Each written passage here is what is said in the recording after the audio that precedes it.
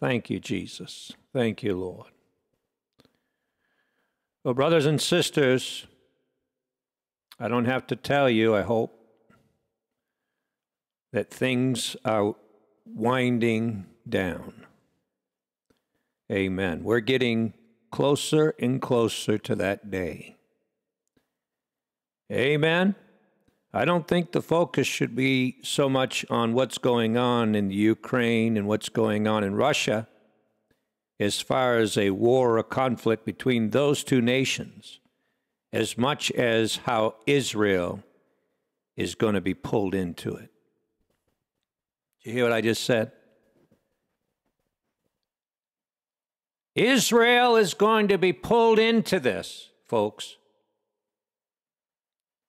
And we're watching it happening.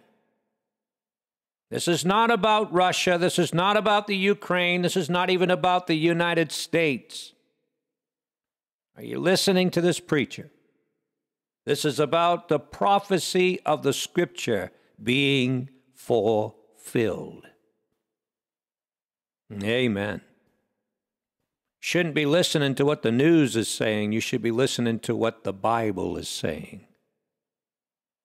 Amen. How many know God's word's going to come to pass? Amen. Oh, yeah. Let's pray. Our Heavenly Father, we thank you, Lord. We thank you for giving to us, Lord, the truth of your word. Thank you for speaking to our hearts in this hour. Father, we pray that you will bless and that you will anoint not only your servant as we minister your word, Lord, but that you will anoint your people to hear your words. We ask that you bless, Lord, at this time. In the name of Jesus, we pray. Amen. Praise the Lord. If you'd like to follow in the reading of God's word, we're going to begin reading in Zechariah Zechariah, the 14th chapter, beginning with verse 1. Praise the Lord. Behold, the day cometh. Is that what it says?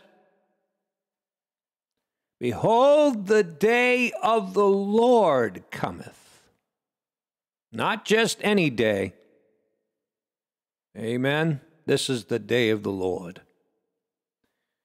And, brothers and sisters, that day is coming quickly.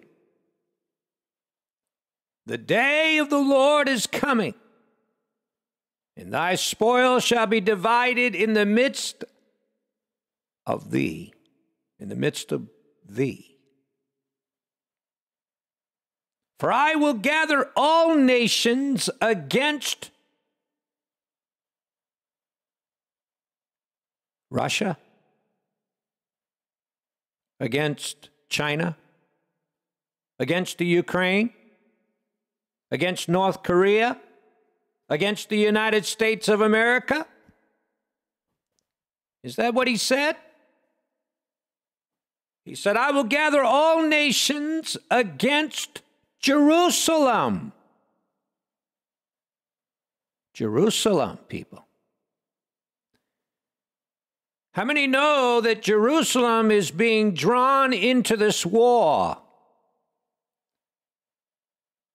Prophecy must be fulfilled, people. Putin just began to recruit the Syrians into this war. And Israel and Syria have been at it for some time now. People, it's coming. It's all coming to pass. Amen. It's going to happen just as the scripture says. Who is it that's doing the gathering? I, the Lord will gather all nations against Jerusalem to battle.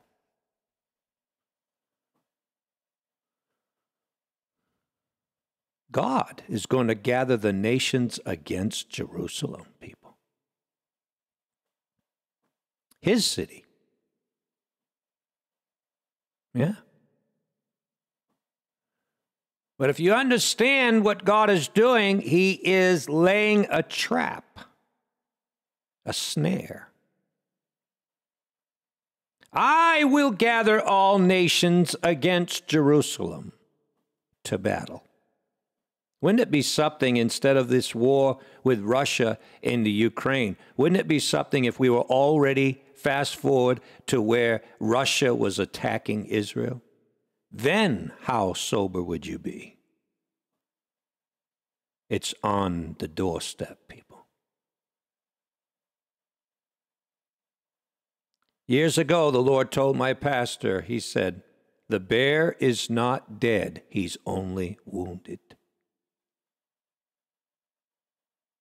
Russia will attack Israel, and Russia will attack the United States of America. That's what the Lord told my pastor. God says, I will gather the nations against Jerusalem to battle, and the city shall be taken, and the houses rifled, and the women ravished, and half of the city shall go forth into captivity, and the residue of the people shall not be cut off from the city. Then shall the Lord go forth and fight against those nations, as when he fought in the day of battle. Are you listening? And his feet shall stand in that day upon the Mount of Olives which is before Jerusalem on the east. And the Mount of Olives shall cleave in the midst thereof toward the east and toward the west, and there shall be a very great valley. And half of the mountain shall remove, move toward the north, and half toward the south. That's right. Jesus Christ is going to set his feet on the Mount of Olives. Amen. Oh, I thought he was dead.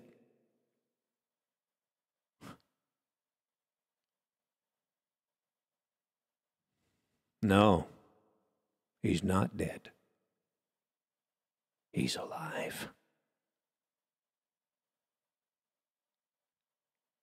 Amen. He's coming back, people. He is coming back, just like he said. Let not your heart be troubled. Believe also in me. You believe in God, but believe also in me. In my Father's house are many mansions. If it were not so, I wouldn't have told you. I'm not a liar. I go away to prepare for you a place. And if I go away to prepare for you a place, he said, I'm coming back to receive you. Amen. Praise the Lord. Matthew chapter 24, verse 14. Jesus says, This gospel, the kingdom, shall be preached in all the world for a witness unto all nations, then shall the end come. He didn't say that everyone was going to listen. He didn't say there was going to be a worldwide revival. He didn't say that we're going to experience a great revival and souls are going to be saved. He said it was for a witness. Just like the two witnesses that are going to preach during the tribute or uh, during the last part of the tribulation hour. That's for a witness. Doesn't mean they're going to listen. People. God oftentimes send the prophets with the word. They never listened. The people heard the word, but they wouldn't do it. Just because the gospel's preached means nothing if you don't respond. Amen?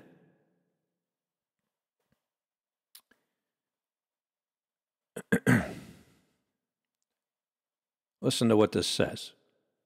And this gospel of the kingdom shall be preached in all the world for a witness unto all nations. And then shall the end come. When you therefore shall see the abomination of desolation spoken of by Daniel the prophet stand in the holy place. Whosoever readeth, let him understand. See, this goes along with what we just read in Zechariah. Then let them which are in Judea flee into the mountains. Right? Let him which is on the housetop not come down to take anything out of his house, neither let him which is in the field return back to take his clothes. Amen. This is when Jesus returns and sets his feet on the Mount of Olives. Now, what does this have to do with? And that's what I want to deal with today the abomination of desolation. The abomination of desolation. That's what this is all about, people. Amen. When you see Russia attacking Ukraine and all that's going on right now, understand that this is all leading up to the abomination of desolation. Amen. Mark chapter 13, verse 14. But when you shall see the abomination of desolation spoken of by Daniel the prophet standing where it ought not, let him that readeth understand. Let them that be in Judea flee to the mountains. Now, he's saying the same thing in this context as he was saying in the last context. So we understand that at the time when God says to them, Don't return back to your house to get your things, flee, flee, flee, flee. Flee into the mountains. We understand that this is, this is at the time when Jesus Christ is going to set his feet upon the Mount of Olives and he's going to destroy the Antichrist in his coming. How do we know that? The scripture says, with the brightness of his coming, right? Second Thessalonians chapter 2, verse 8. And then shall that wicked be revealed, whom the Lord shall consume with the spirit of his mouth, and shall destroy with the brightness of his coming. So when the Lord returns to set his feet upon the Mount of Olives, people, think about it. He's going to destroy that wicked. Amen. By the way, this is at the same time there's going to be a great earthquake when the Lord sets his feet upon the Mount of Olives. And the scripture says in the book of Revelation that this earthquake is going to cause a world or global earthquake that's going to bring down every city of all the nations, which is Mystery Babylon. Are you listening? Well, your mind's awful small if you still think America is Mystery Babylon.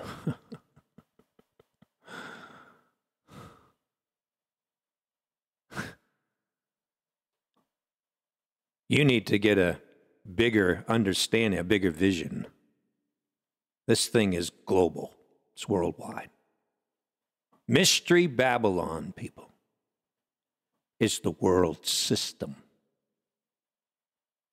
All the cities of all the nations of all the world are going to be destroyed in one hour. in the coming of our Lord Jesus Christ. Yeah, they crucified him. And it seemed like they defeated him at the cross. But he's coming back, amen. And when he sets his feet upon the Mount of Olives, he's going to destroy Mystery Babylon. Anybody listening? Praise the Lord. Whose side are you on? Whose side are you on? As for me and my house, we're going to serve the Lord. Amen. Praise the Lord. Revelation chapter 11 and verse 1. And there was given me a reed like unto a rod, and the angel stood, saying, Rise and measure the temple of God and the altar and them that worship therein. But the court, which is without the temple, leave out. Measure it not. It's not included. For it is given unto the Gentiles. And the holy city shall they tread under foot forty and two months. That's just before the Lord returns. Are you listening? God says, don't include them in the measurements. They, they're going to be destroyed. Amen. Revelation chapter 13, verse 14, or verse 4. And they worshiped the dragon which gave power unto the beast, and they worshiped the beast, saying, Who is like unto the beast? Who is able to make war with him? And there was given unto him a mouth speaking great things and blasphemies and power was given unto him to continue 40 in what? Two months. That's the same amount of time, brothers and sisters, that the Gentiles are going to be given to tread Jerusalem. Anybody listening? See how the scripture lines up? Do you see how it all works together? 40 in two months three and a half years. Anybody listening? It's the last three and a half years of the tribulation hour. Dear God. Revelation 17 and 1. And there came one of the seven angels which had the seven vials and talked with me, saying unto me, Come hither, I will show thee the judgment of the great whore that sitteth upon many waters, with whom the kings of the earth have committed fornication, and the inhabitants of the earth have been made drunk with the wine of her fornication. That's not just the United States. Hello.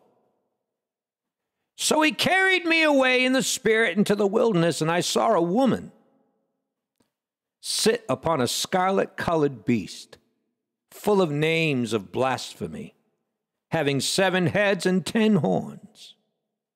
And the woman was arrayed in purple and scarlet color and decked with gold and precious stones and pearls, having a golden cup in her hand full of abominations and filthiness of her fornication. What do you think, people, Israel's doing today? They're fornicating with all the nations. In the Bible, it is Israel that is called the great whore. How many know that? God talked about the Jews, and then he said, or he was talking about, uh, excuse me, he was talking about Judah, your sister, has also played the harlot. Judah is the Jews. Anybody listening? All of Israel went a whoring from God, and there was only a remnant left. And then she played the harlot. Yeah. By the time Jesus Christ showed up, the Jews had become so corrupted that he said to them, You're not children of Abraham. That's how corrupt they had become, people. He said, You're not children of Abraham. He said, You're the children of the devil. That's what he said to them. Hello. They had become so corrupt and so racist. They were racist against the Samaritans. They were in cahoots with Rome. Anybody listening? Not a whole lot's changed. Hello. Not a whole lot has changed. They call themselves Jews. He said they're the synagogue of Satan. Sounds like they're worshiping the beast already, aren't they? They're going to lead the rest of the world to worship the beast. Amen. It's amazing how these charismatics are flocking to those that call themselves Jews today. Amen. We see the one thing that marks the great mother of harlots, this whore of Babylon, is fornication spiritual and physical fornication. Amen. Upon her forehead was a name written Mystery Babylon the Great, the mother of harlots, the abominations of the earth. I saw the woman drunken with the blood of the saints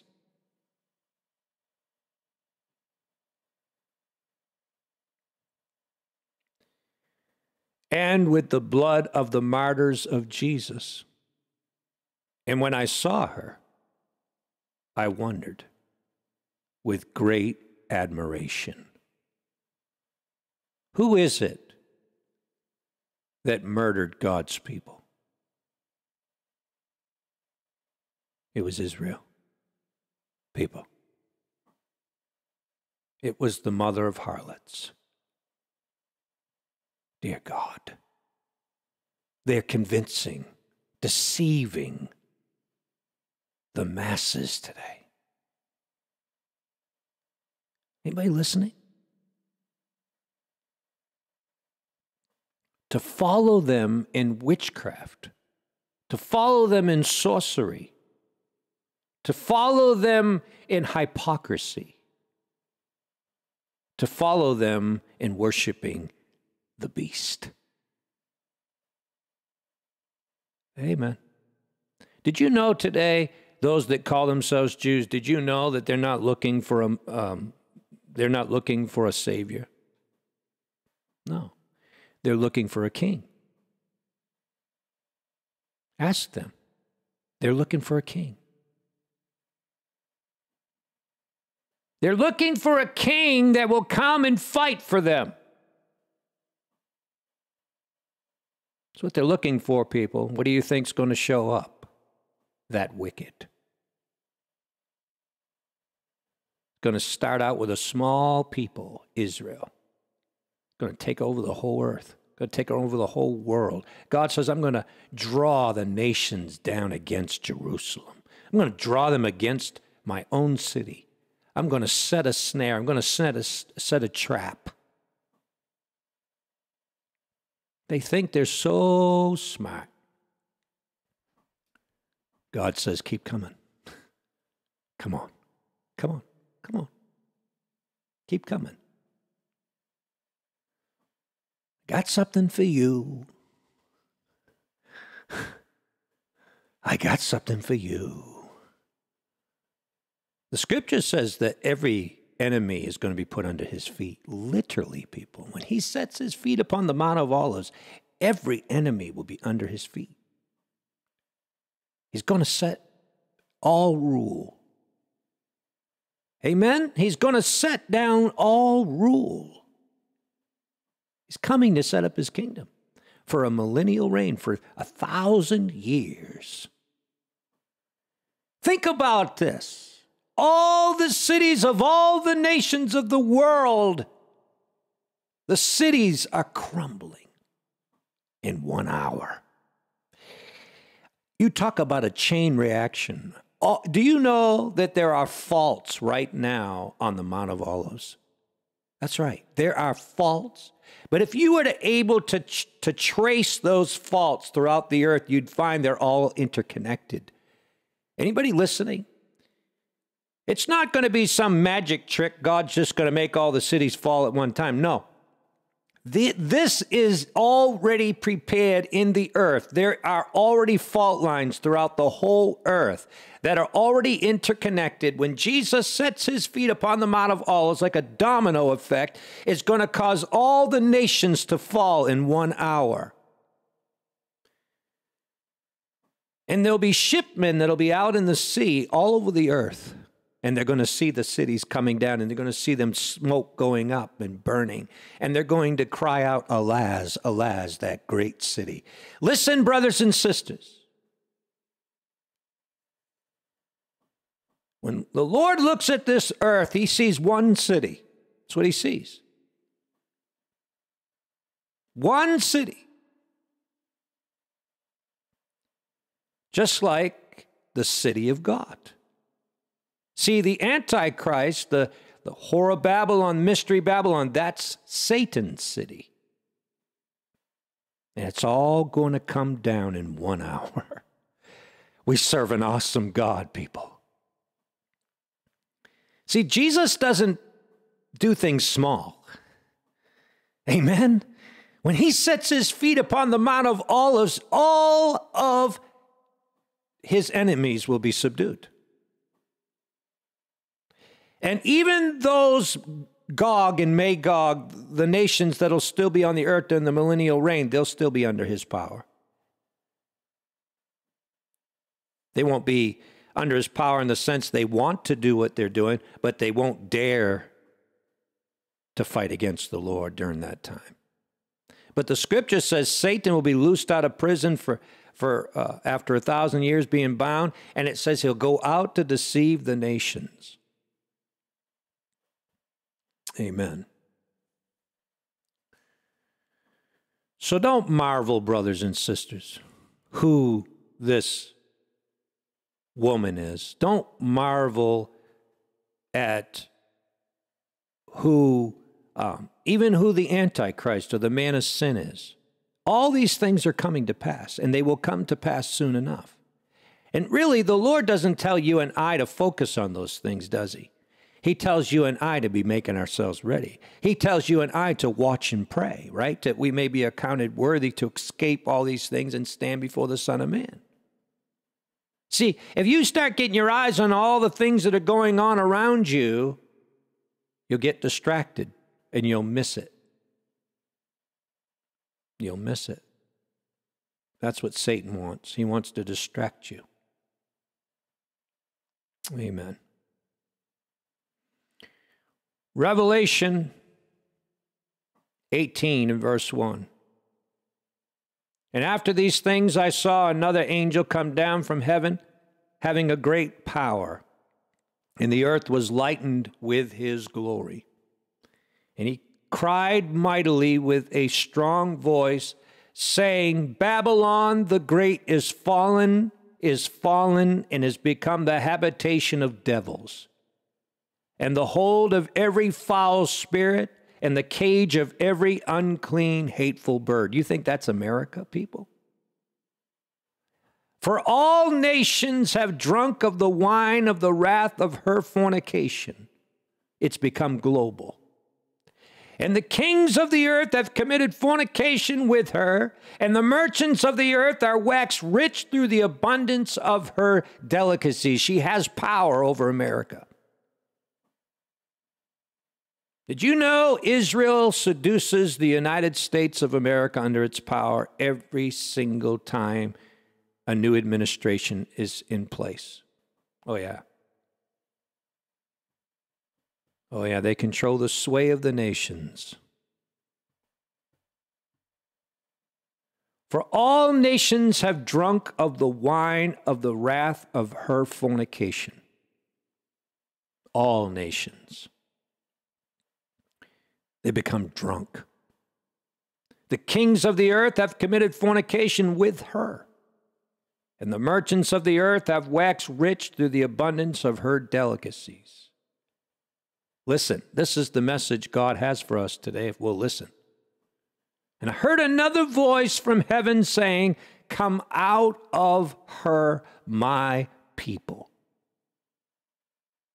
that you be not partakers of her sins and that you receive not of her plagues. For her sins have reached unto heaven, and God hath remembered from the past her iniquities. How many know God has not fully destroyed Israel?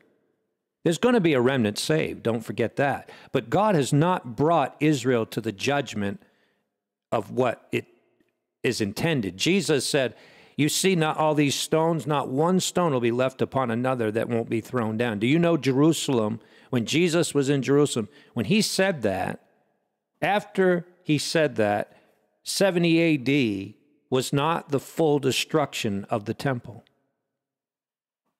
I may know that?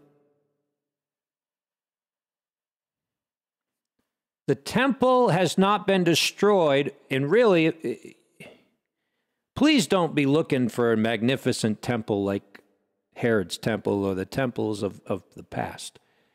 Just like they did this sacrifice recently and got all dressed up in their unclean white garments.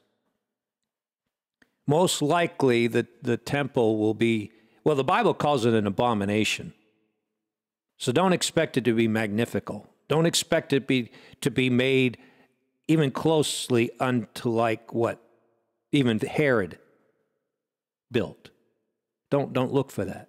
People are saying, well, I don't understand how this temple is going to be built, reared up. How's it going to be built in, in such a short time? It's not.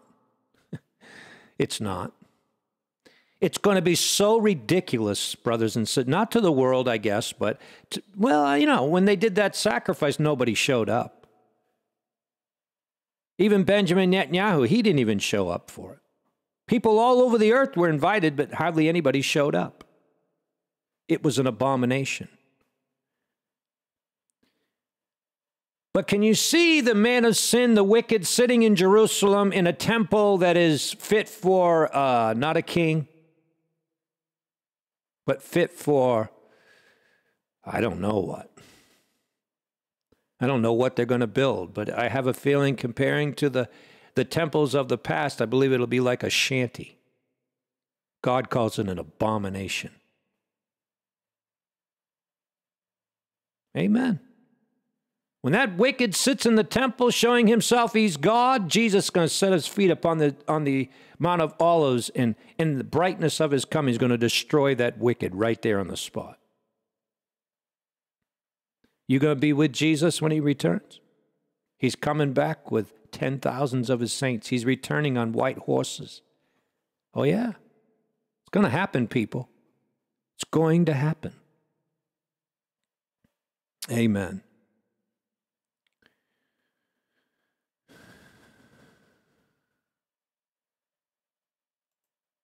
Revelation 18 and 17 for in one hour so great riches come to naught. Every shipmaster and all the company in ships, sailors, not talking about just around the United States, people, come on. All the ships, all the shipmasters, all the sailors, as many as trade by the sea, stood afar off. Doesn't mean they're just around the United States. Come on. We get tunnel vision here in the United States, don't we? We think that we're the only nation on the earth. And yet the Bible never mentions America. They stood afar off and they cried when they saw the smoke of her burning, saying, What city is like unto this great city? Can you just see the picture of all those that are out in the sea on their way to bring their wares, to bring their product, what bring, you know, all their different cargo to these cities, and they can't drop off their cargo. There's nowhere to port. Anybody listening? There's nowhere to port. There's no place to berth. There's no place for them to port. Amen. They got nowhere to bring their goods. Cities are going to fall in one hour, people. All the cities of all the nations. Now, we know there's going to be something spared because there's still Gog and Magog, there's still Tubal, Meshech, that God's going to deal with after the millennial reign. He's not going to gather all the nations down to Jerusalem because the scripture says he's going to turn back some of them. Even Egypt is mentioned during the millennial reign. How many know that? Oh, yeah.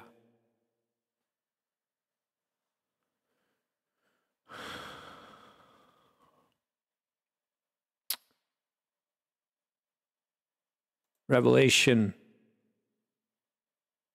Well, let's let's go to Psalm. I want you to see something. Remember, Jesus is setting his feet upon the Mount of Olives, right? Psalm 110, verse 1. And the Lord said unto my Lord, Sit thou at my right hand until I make thine enemies thy footstool. Amen.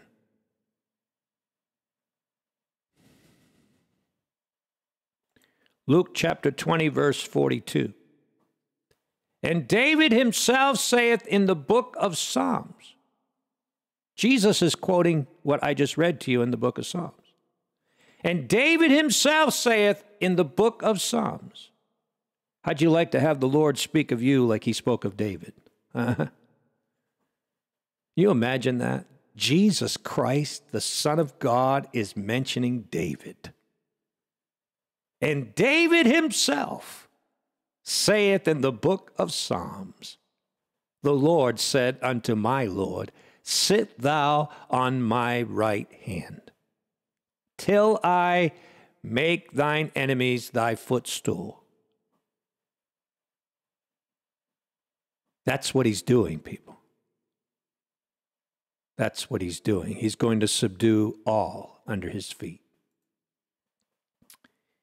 Hebrews chapter 1, verse 13.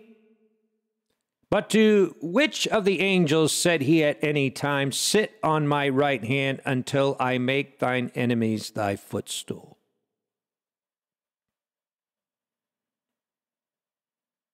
Amen.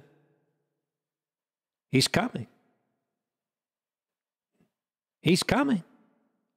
The King of kings, the Lord of lords. Glory. The King. Hello, people. The King, the King of kings, and the Lord of lords every knee shall bow, every tongue shall confess that Jesus Christ is Lord to the glory of God the Father. Oh, I feel his presence. He's the King. He's the King.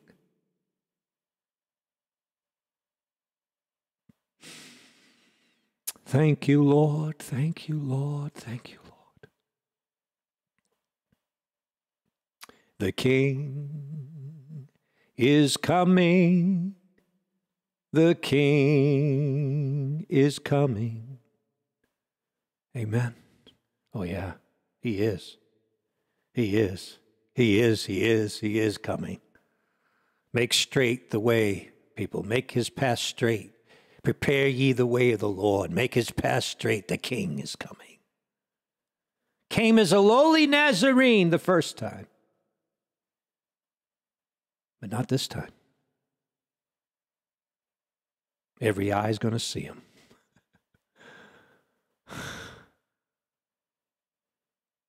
what a day that's going to be. The day of the Lord cometh. The brightness of his coming is going to destroy his enemies. I said to you the other day, the very the scripture says the very eyes in their eye sockets are going to vaporize in their very sockets because of Him, because of His glory, because of His presence. He's brighter than the sun shining at noon. I'm sure to the world he'll look like a nuclear weapon. He'll look, it'll look, probably will look nuclear as the Lord returns with his saints light, people. Light flashing. Glory to God.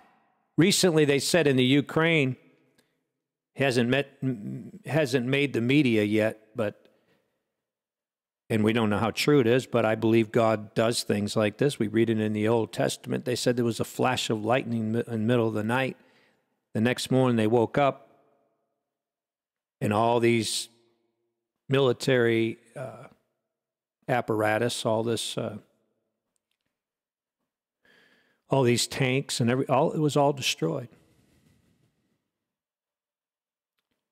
And the soldier that was a Christian was in the midst of that before the lightning struck or the lightning flashed and he, he called his minister, I believe it was, he called his pastor and asked him to pray with the church for him. He says he didn't look, think he was going to make it out.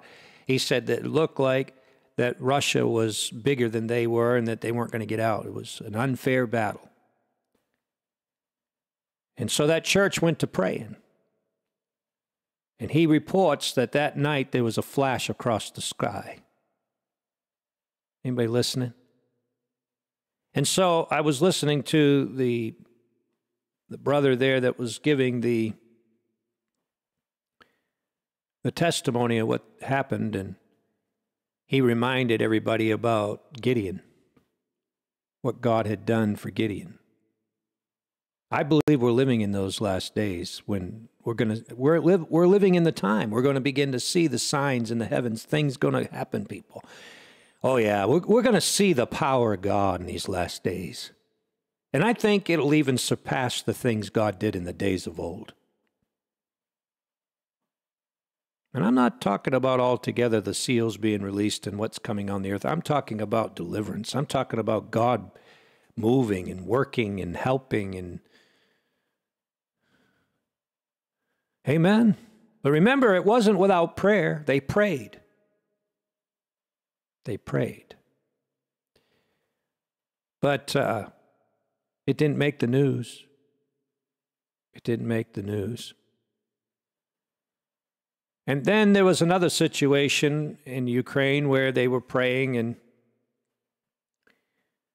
some Russians were on their way to some some designated area, and they met up with another group of Russians, but I guess it was at night, and they thought it was Ukraine, and they started firing on their own people. Again, we see that in the Old Testament. Gideon. God sent confusion into their midst, and they started firing upon one another. Anybody listening? Glory to the Lamb, people. Have you been praying for these folks in Ukraine? Because I'll tell you right now, it's it's not just what's going on. It's not a just war. It's not a it's not a fair war. These young Russians that are being sent from Russia don't even know they're going to war. They've been lied to. And I've listened to some of their testimonies, they look very sincere. They were told to go over to Ukraine for some training or whatever, and they got over there and they were stuck. They were even threatened prison if they didn't fight. In other words, they'd be considered AWOL. That's how Putin runs his regime. Yeah. Praise the Lord. I didn't realize we had so many scriptures. Let's get to the next one. 1 Corinthians chapter 15 verse 24. Then cometh the end when he shall have delivered up the kingdom of or to God even the Father when he shall have put down all rule and all authority and power. Listen, please listen.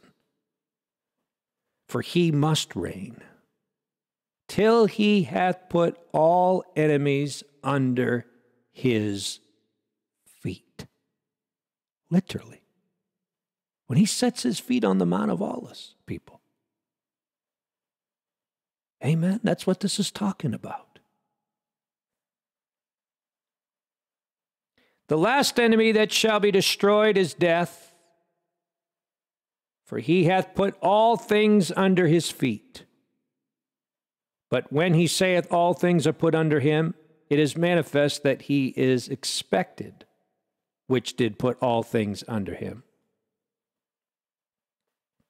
And when all things shall be subdued unto him, then shall the Son also himself be subject unto him that put all things under him, that God may be all in all.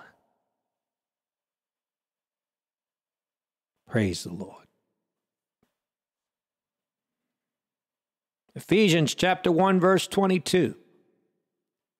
And he hath put all things under his feet and gave him to be the head over all things to the church.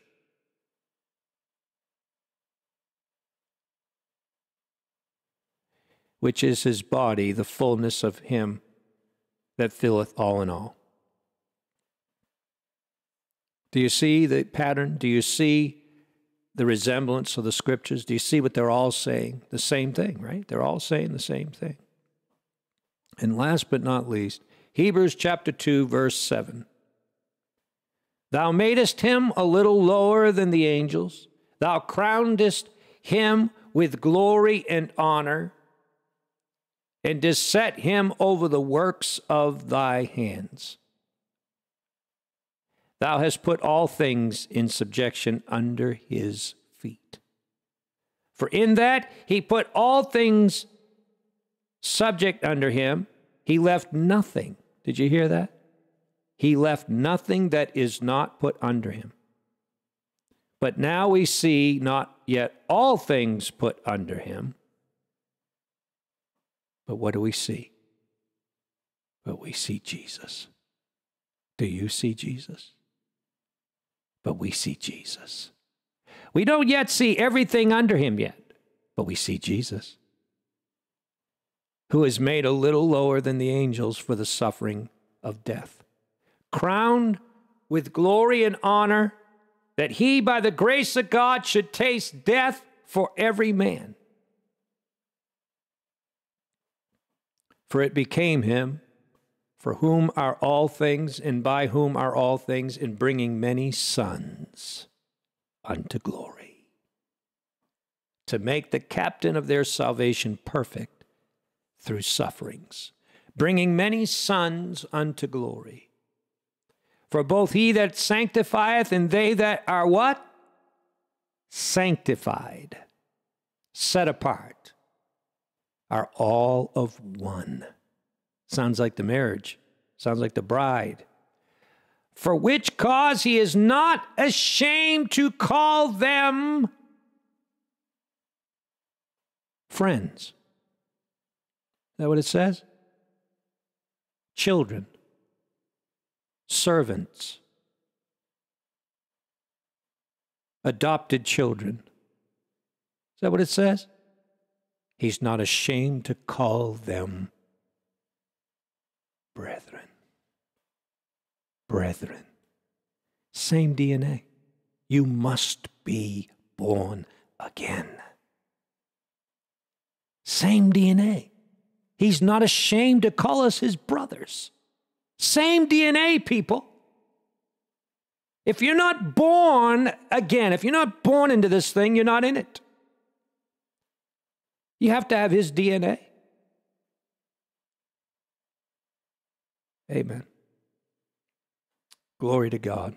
I've met a lot of people professing to be saved, being Christians, but they've never been born again. Amen. How about you? You meet people all the time. They don't my spirit don't bear witness with your spirit. If you were born again, I, it would bear witness with my spirit that you're my brother, that you're my sister. But your spirit doesn't bear witness with my spirit. Something's off. Anybody listening? Listen to this. Saying, I will declare thy name unto my brethren. Not to everybody, not to everyone in the church, to my brethren. In the midst of the church will I sing praise unto thee. In the midst of the church. Not to the church as an entirety, but in the midst of the church, there's a remnant, there's brethren, there's sons. Praise the Lord. He's going to return with his sons. He's going to return with his brethren. And Babylon will be destroyed once and for all. and that wicked will be destroyed in the brightness of his coming. Whose side are you on?